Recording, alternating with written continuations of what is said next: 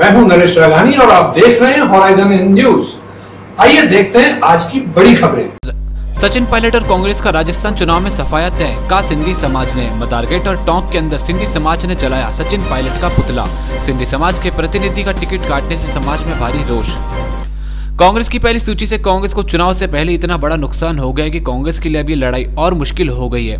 अजमेर लोकसभा उपचुनाव के दौरान सचिन पायलट ने सिंधी समाज के साथ बैठक आयोजित की थी और समाज से वादा किया था कि वो विधानसभा चुनाव में सिंधी समाज के प्रतिनिधि को टिकट देंगे, लेकिन वो इस चुनाव में अपनी बात से मुकर गए, इसलिए सिंधी समाज में भारी रोष व्याप्त है। कल शाम भी झूलेलाल मंदिर के बाहर पायलट का पुतला फूका गया था और आज मदार गेट में भी पुतला फूका गया। न केवल अजमेर, बल्कि जहाँ से सचिन पायलट चुनाव लड़ रहे हैं, उस टॉक क्षेत्र में भी सिंधी समाज ने पायलट का पुतला फूका है जिस पर नरेश शागनी और सिंधी समाज ने अपनी ओर से टोंक के समस्त बंधुओं को धन्यवाद प्रेषित किया है इस मौके पर सिंधी समाज के सभी लोग और व्यापारी उपस्थित हुए और अपना रोष प्रकट किया प्रदर्शन से पहले पूरे डिग्गी बाज़ार में समस्त सिंधी समाज के व्यापारियों ने अपनी दुकानों को बंद रखा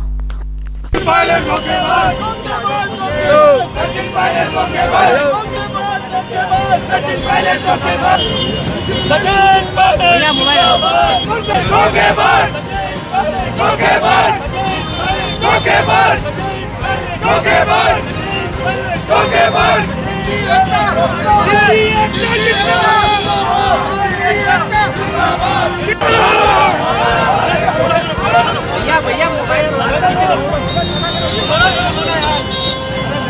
मुर्दाबाद मुर्दाबाद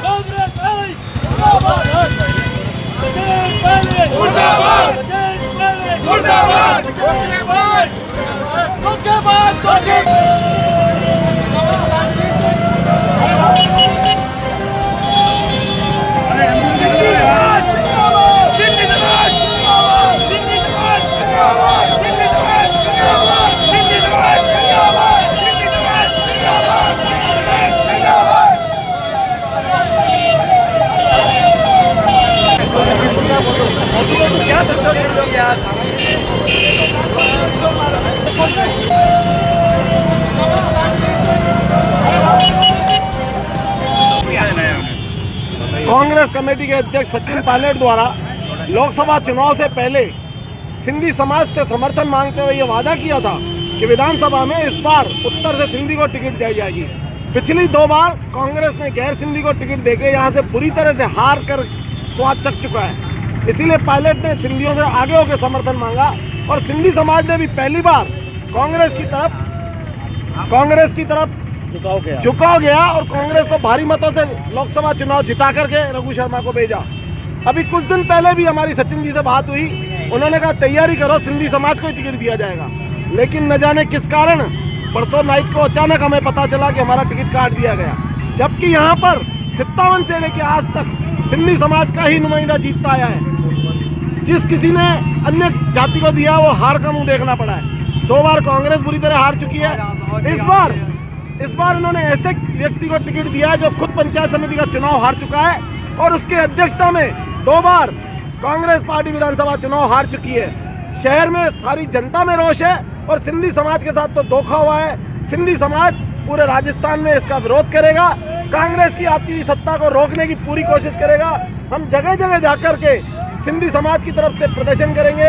हमारी समाज के कम से कम अट्ठाईस तीस सीटों पर रिकॉर्ड इनको हराएँगे ये वादा है कांग्रेस की आती हुई सत्ता को रोकेंगे। हमारी समाज की रणनीति चल रही है।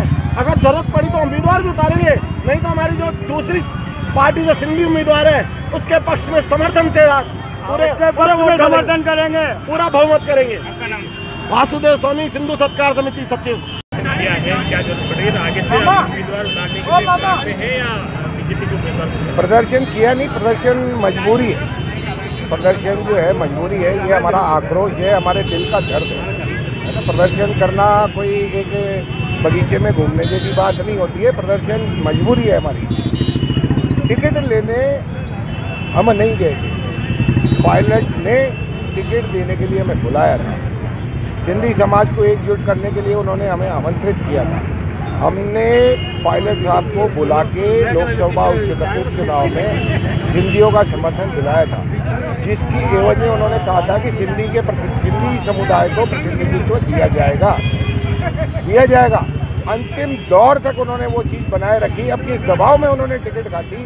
कई तरह के दबाव हो सकते हैं। कई तरह के दबाव हो सकते हैं। क्यों उन्होंने टिकट काटी? ये समाज किसी भी सूरत में बर्दाश्त नहीं करेगा।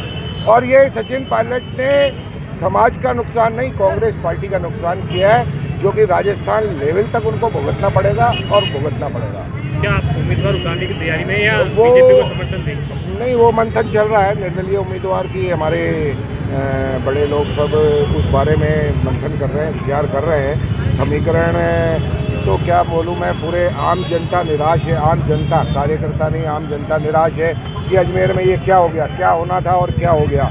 हम क्या करने वाले थे और किस काम में लग गए तो उसकी संभावनाएँ बलौती है। बलौती है। हो सकता है कि उतार दें हम।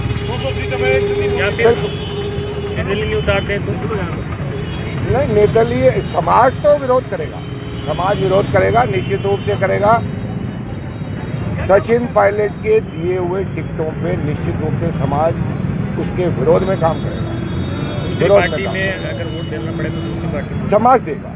निश्चित रूप से देगा। मैं समाज के समा मेरी प्रतिष्ठा दांव पे लगी। मैंने समाज के सामने कहा था पायलट साहब खुद ने मंच पे खड़े होके रघु शर्मा ने। रघु शर्मा के चुनाव में मैंने उन बुलवाया था उनको और उन्होंने मंच पे खड़े होकर कहा था कि सिंधी समाज की ज़रूर तरजीह दी जाएगी लेकिन वो वायदा खिलाफी मैं समाज के सामने मुँह दिखाने के लायक नहीं रहा। उस वायदा खिलाफी के बाद समाज आक्रोशित है मेरे बस में नहीं कि मैं समाज को किसी भी तरीके से रोक सकूँ। राजेश आनंद, अध्यक्ष, सिंधु सरकार समिति आप प्रत्याशी मंजीत सिंह हुड्डा ने भरा पर्चा, चुनावी जंग में उतरने को तैयार।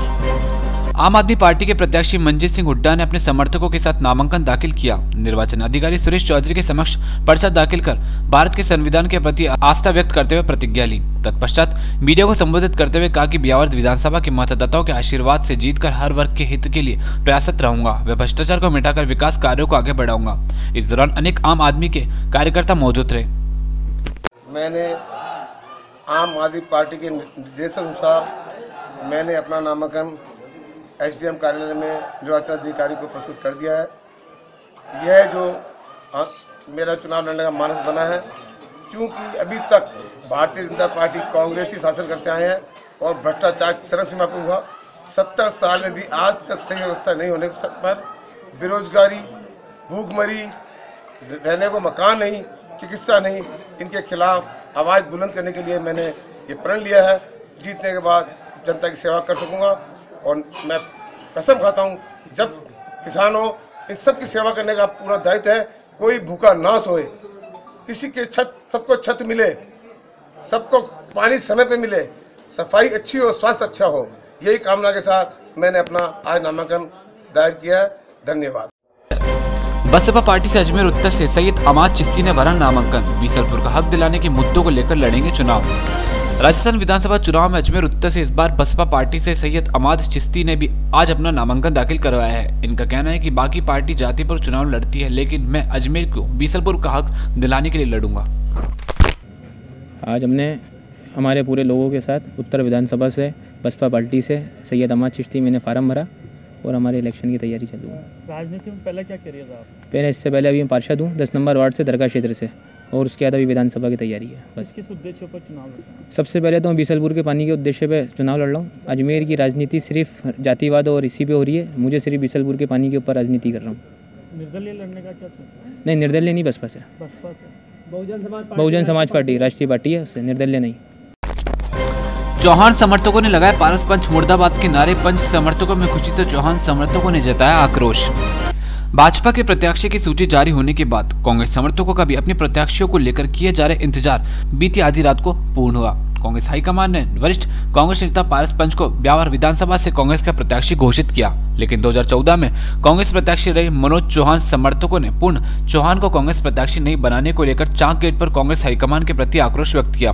इस दौरान चौहान समर्थकों ने पारस पंच मुर्दाबाद, सचिन पायलट मुर्दाबाद आदि के नारे लगाए। इस दौरान मीडिया से वार्ता करते हुए मनोज चौहान ने कहा कि मेरे साथ मेरे कार्यकर्ताओं ने ब्यावर विधानसभा के हर गाँव में कांग्रेस को मौजूद किया है। मुझे टिकट के लिए हाईकमान ने आश्वस्त किया था, लेकिन दूसरे को टिकट देकर मेरे कार्यकर्ताओं की भावना के साथ खिलवाड़ किया है। चौहान ने कहा कि आगामी रणनीति के बारे में सभी कार्यकर्ताओं से विचार विमर्श कर आगे की योजना बनाई जाएगी।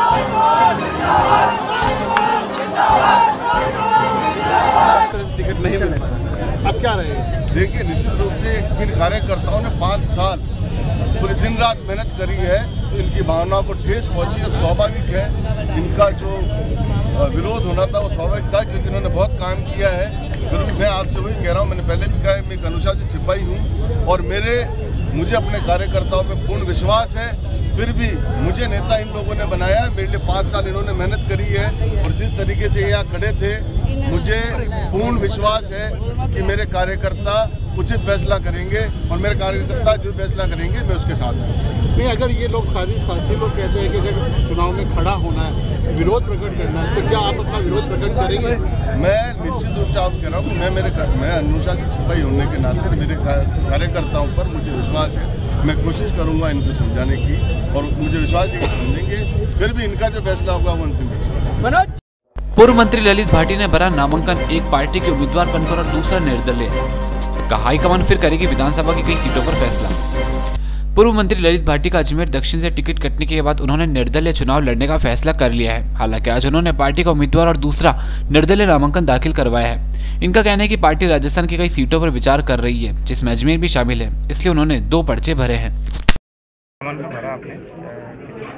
नामांकन भरा साहब, एक तो पार्टी के कार्यकर्ता के रूप में, कि पार्टी के उम्मीदवार के रूप के अंदर एक फॉर्म भरा है। और पार्टी से जो कार्यकर्ताओं ने अपील की थी कि भाई, जो टिकट वितरण के अंदर चूक हुई है, उसके ऊपर पुनर्विचार करते हुए अजमेर दक्षिण का जो है, उस टिकट के अंदर बदलाव किया जाए। तो ऐसा हमें जो है विश्वास है कि आला कमान ने जिस प्रकार से इसके ऊपर पूरे राजस्थान में कार्यकर्ताओं में जो जोश उभर करके आया, उसको देख करके इस पर चिंता व्यक्त की है और कुछ विधानसभा क्षेत्रों का पुनर्विचार करने का हमारे जानकारी के अंदर नेताओं के द्वारा बताया गया है।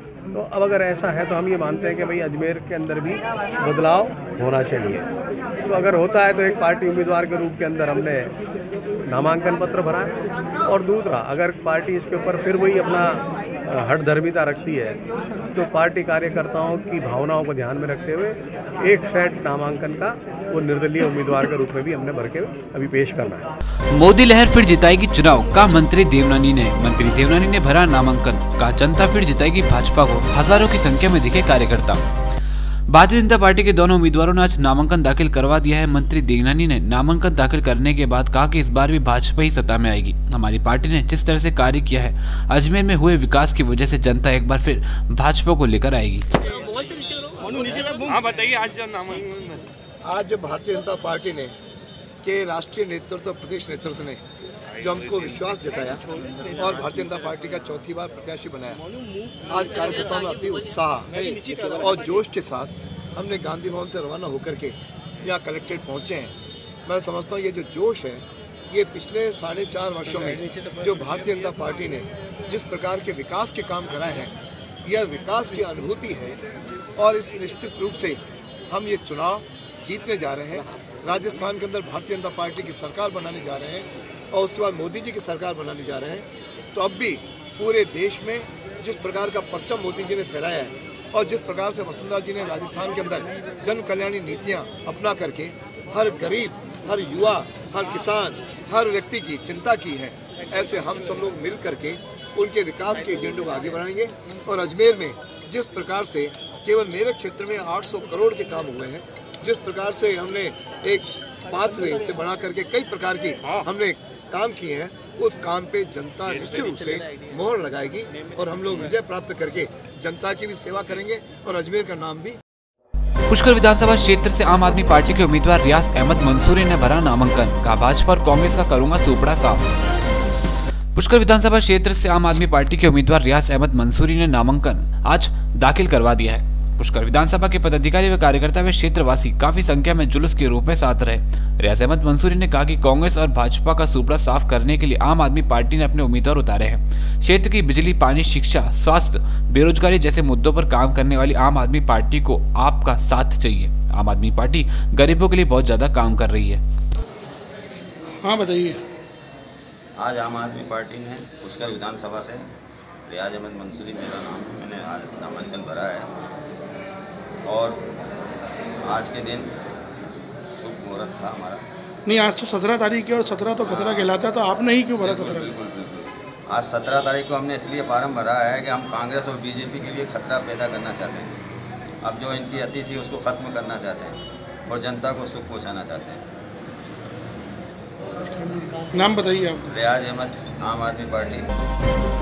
पुष्कर मेले को लेकर रोडवेज़ ने लगाई 100 बसें चौबीस तारीख तक रहेगी विशेष सुविधा। यात्रियों को नहीं आएगी परेशानी।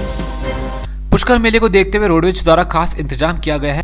मेले में 100 से ज़्यादा बसें लगाई गई है ताकि यात्रियों को किसी भी तरह की परेशानी न है साथ ही दो चेक पोस्ट भी रखी गई है। ये सुविधा पुष्कर मेले में चौबीस तारीख तक रहेगी।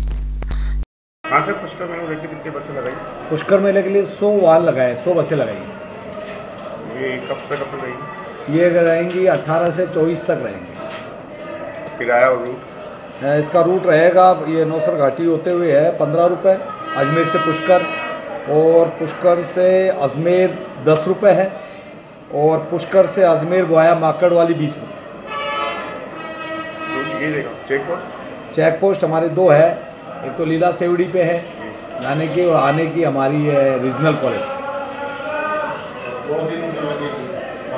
और जब ये वन वे हो जाएगा तो माकड़ वाली उस साइड पे चेक पोस्ट लगी। आपका नाम? मेरा नाम अनिल पारिक है चीफ मैनेजर हूँ अजमेर आगर। चुनाव के दौरान रोडवेज़ कर्मचारियों के लिए मतदान व्यवस्था बैठाने की मांग महासंघ कर्मचारी ने की प्रशासन से मांग। ड्यूटी में व्यस्त होने की वजह से रोडवेज़ कर्मचारी नहीं कर पाते मतदान। विधानसभा चुनाव में रोडवेज़ कर्मचारियों के लिए मतदान करने की व्यवस्था करवाने के लिए आज महासंघ कर्मचारी ने प्रशासन से मांग करी। वह ड्यूटी में व्यस्त होने की वजह से रोडवेज़ का कोई भी कर्मचारी मतदान नहीं कर पाता। बहुत ऐसा है, आज ये राजस्थान के अंदर, वहाँ जयपुर के अंदर चुनाव आयोग की जो मीटिंग हो रही है, भारत सरकार के जो पर्यवेक्षक हैं और हमारे राजस्थान के जो पर्यवेक्षक हैं।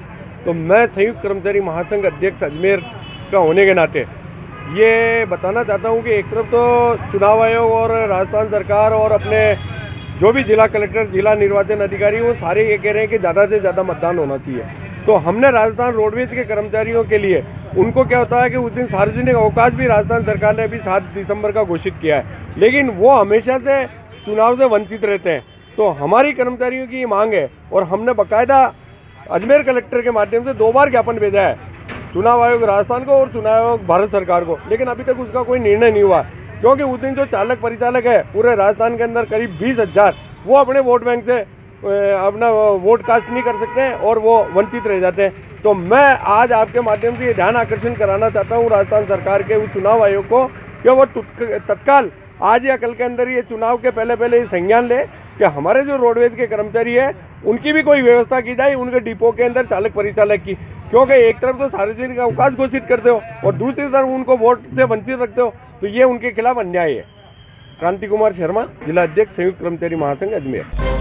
स्पर्धा चौधरी का टिकट काटने पर समर्थकों ने बीच रास्ते में रोका पायलट को। इस प्रदर्शन के बाद पायलट ने स्पर्धा चौधरी को छह साल के लिए किया निष्कासित। फुलेरा से टिकट की मांग कर रहे स्पर्धा चौधरी के समर्थकों ने राहुल गांधी के निवास के बाहर पीसीसी चीफ सचिन पायलट की कार को रोककर ज़बरदस्त विरोध प्रदर्शन किया। आपको जो वीडियो दिखाया जा रहा है, ये सोशल मीडिया पर तेज़ी से वायरल हो रहा है। विरोध का पायलट पर कोई असर नहीं हुआ। पायलट फ़ोन पर व्यस्त रह समर्थक प्रदर्शन करते रहे। प्रदर्शनकारियों को सुरक्षा कर्मियों ने हटाकर पायलट के लिए रास्ता साफ़ किया। इस प्रदर्शन के बाद पायलट ने तुरंत स्पर्धा चौधरी को पार्टी से छह साल के लिए निष्कासित कर दिया है।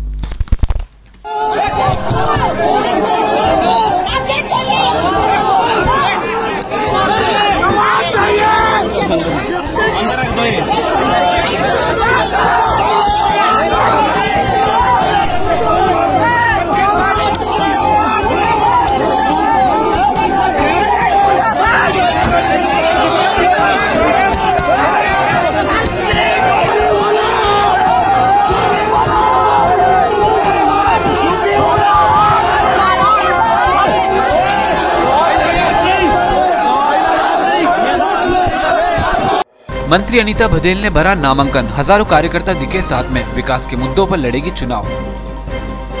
महिला बाल विकास मंत्री अनीता बदेल ने चुनावी जंग में उतरने के लिए नामांकन दाखिल करवा दिया है। हज़ारों की संख्या में आज अजमेर के मुख्य मार्गों पर भगवा रंग की भीड़ दिखाई दी। मंत्री अनीता बदेल ने शुभ मुहूर्त के साथ अपना नामांकन दाखिल करवाया। मीडिया से बात करते हुए मंत्री बघेल ने कहा कि मैं फिर से विकास के मुद्दों पर चुनाव लड़ूँगी।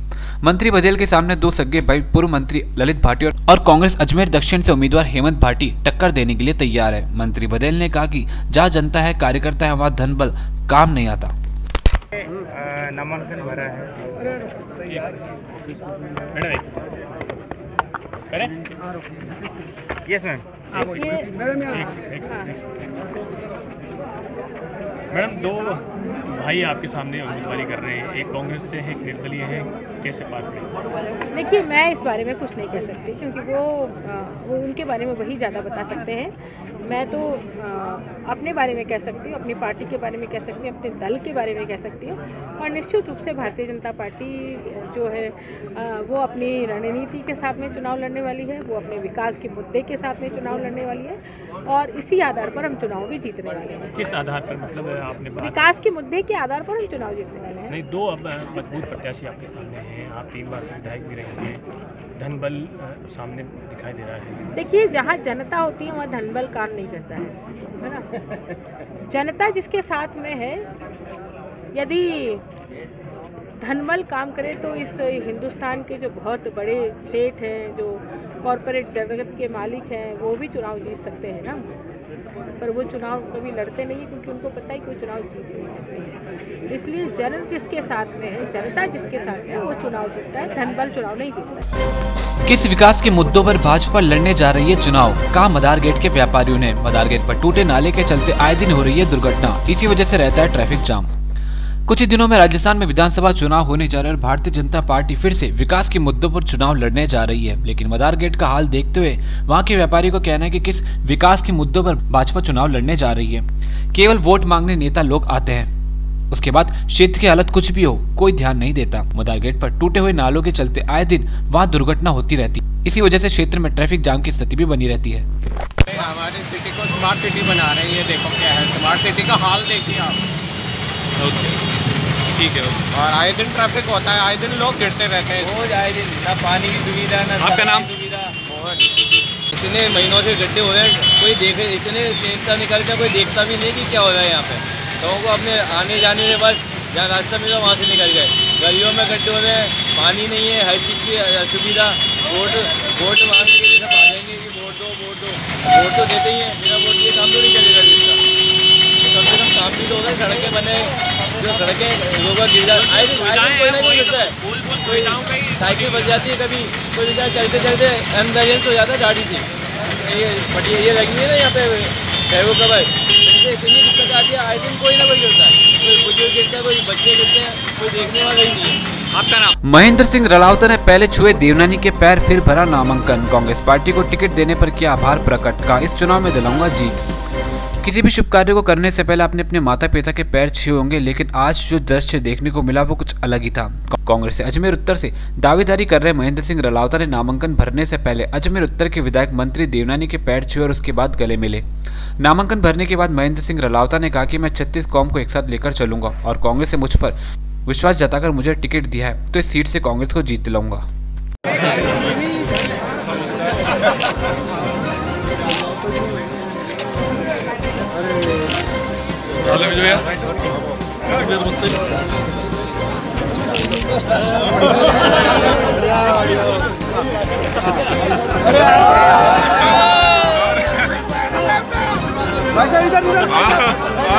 ठीक सर आशीर्वाद तो दिया ही नहीं हमने अरे नहीं दिया ना। भाई हैं तो भाई बड़े भाई बिल्कुल बिल्कुल शुभ काम दादा, ये लो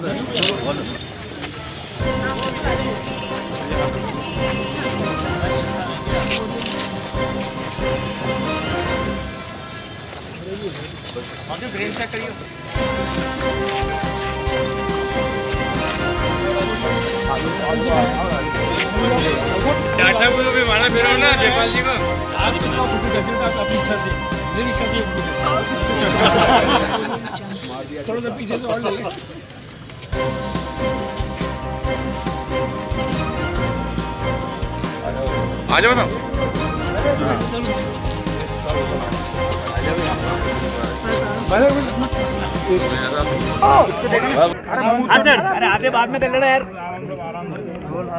जी हाँ भैया आप अहम भैया आपने। जी भाई आज आपने दाखिल किया मैंने आज विधि सम्मत जो हिंदू संस्कृति के रूप के अंदर लोगों का आदेश था कि मुझे अपने फार्म तय समय के अनुसार दाखिल किए जाने चाहिए।